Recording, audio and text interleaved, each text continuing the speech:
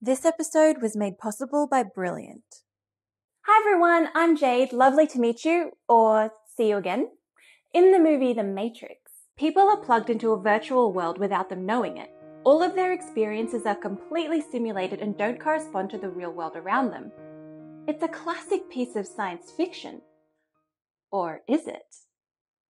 What if I told you that cosmologists, the people who study the large scale structure of our universe, actually argue over whether our universe is really just a simulation?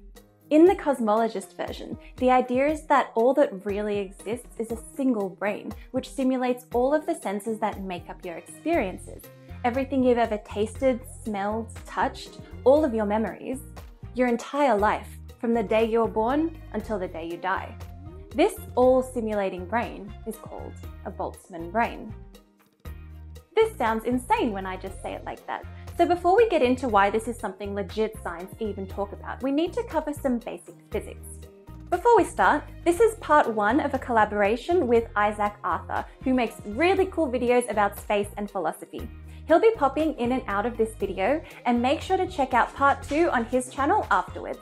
Alright, in any physical system, it's often really useful to quantify the amount of ordered structure in that system. We can do this by counting the number of possible ways we can rearrange the system. Take this example. Imagine flipping 10 coins. There's only one way to flip 10 heads. That's a pretty ordered system. But if you wanted to throw 5 heads and 5 tails, there are 252 different ways to do that. This way of looking at the overall order of a system is called entropy, and physicists love to talk about entropy. They love it because they can always rely on it for one thing to keep going up. What do I mean by that? Okay, well, in our coin case, you can imagine that the number of possible ways we can get heads or tails is proportional to the entropy. Flipping 10 heads can only be done one way and so has very low entropy but flipping five heads and five tails can be done many ways, and so has high entropy. So if you started with 10 coins facing heads and started flipping them, you would tend to a state of higher entropy. The takeaway is entropy always increases in a closed system. You can also think about the entropy of more realistic systems, like the air in the room around you. When you open the door to let some cool air in, the cool air doesn't just stay in the corner. It gradually spreads out and mixes with the warm air, lowering the temperature of the whole room. It goes from a neat, separated system to a messy, mingled system, which is impossible to reverse. Try as much as you want, you won't get those cold air particles back to the corner of the room. But hang on, some of the very astute of you may be wondering, but you said entropy always increases. But it is possible that I can start off with five heads and five tails and flip them all heads, making the entropy go down. Explain that, Jade. Alright, well spotted. In fact, you're right, that is possible, and it's a key piece of the puzzle in understanding Boltzmann brains. Entropy is a concept governed by statistical fluctuations. The larger the fluctuation, the more unlikely the event is to happen. But while on average entropy always increases, it's very possible to have fluctuations which lower entropy given enough time and dumb luck. So that's entropy. Now let's leave that for a moment and talk about cosmologists, the people concerned with Boltzmann brains and the whole your entire existence may be a simulation thing. The goal of cosmology is to understand the universe on the largest scales. They try to answer questions like what is the entire universe made of? Is it changing over time? Is the universe the same over here as it is over there? Arguably, the holy grail of cosmology is about the origins of the universe. The theory is that the universe started off in a very hot, dense state in the past, a state of very low entropy. The big question is why? This question is still not entirely answered today, and it's so hard because we have no way, as far as we know, to measure anything before the Big Bang, if the concept of before the Big Bang even means anything. But that hasn't stopped cosmologists from coming up with models about how the universe may have started and evolved. It's hard to summarize an entire active field of research, but one paper by some of the leading physicists in the field summarize it like this. The question then is whether the origin of the universe was a naturally occurring fluctuation Or was it due to an external agent which started the system out in a specific low entropy state? Now we'll get into what naturally occurring fluctuation means in a second, but the phrasing of external agent here is just meant to describe any other mechanism of why the universe may have started out the way it did.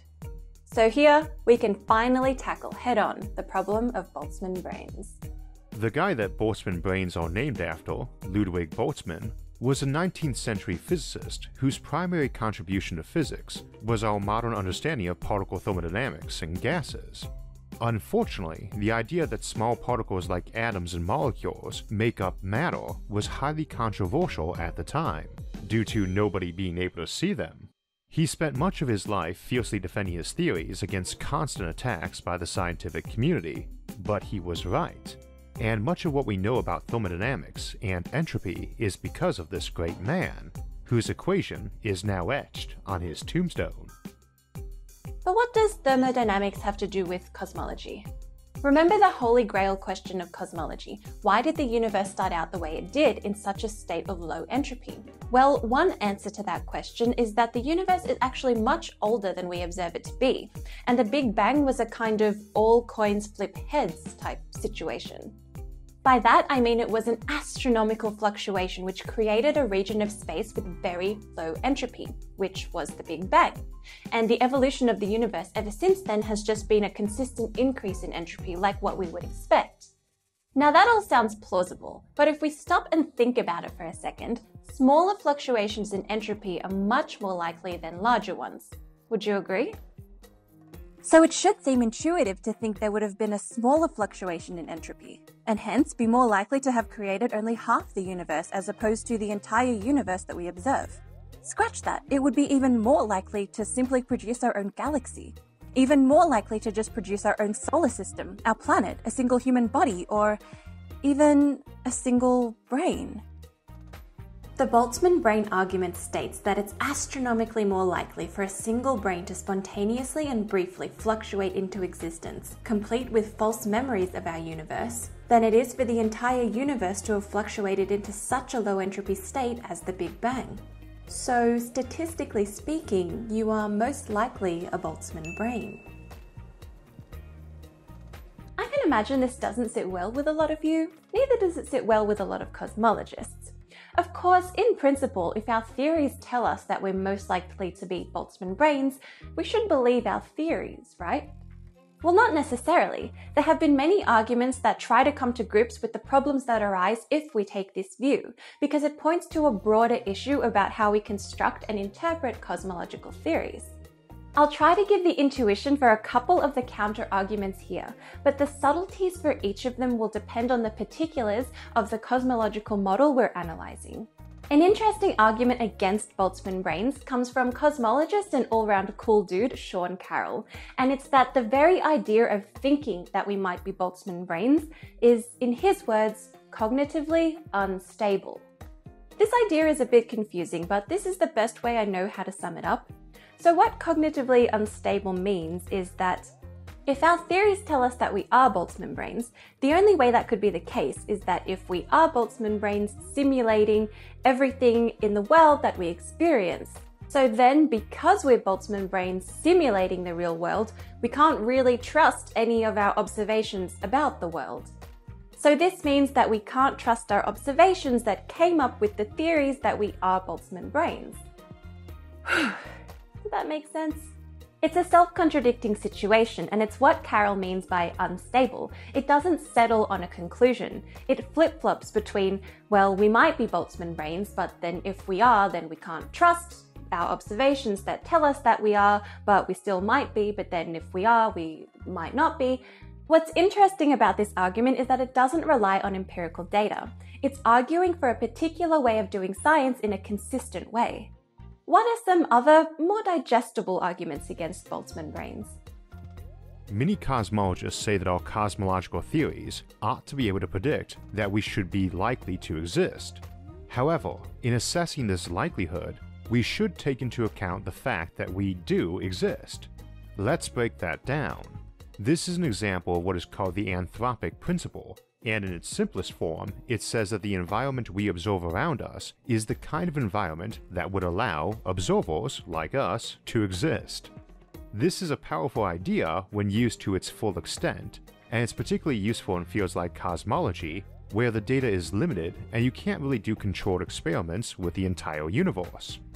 However, talking about probabilities gets complicated and a little precarious in situations where the infinities like potential size and age of the universe come in. So the details of the analysis start to become very important, but suffice it to say that with different Bayesian arguments and taking into account that we exist as a key part of your empirical evidence, then humans in a Big Bang universe come out over and above these pesky Boltzmann brains. Of course, there is an alternative way of looking at that, which goes back to a more elemental assumption of the observer being able to trust what they see and assume it is real, accurate, and normal.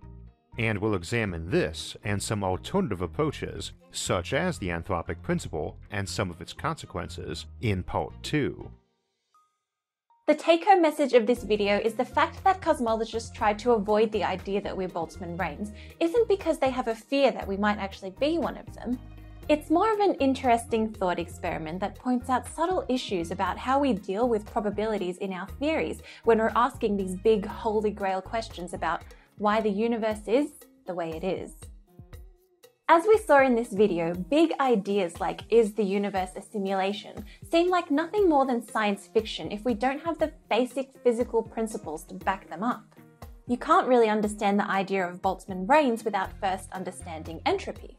I like to cover big ideas in my videos, but to do that I need to nail the basics first.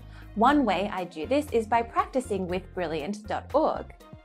If you'd like an extensive overview of fundamental physics, I highly recommend their course on classical mechanics. It includes quizzes about motion, energy, reference frames, oscillations, and more. Their interactive quiz style really forces you to think about what you're learning.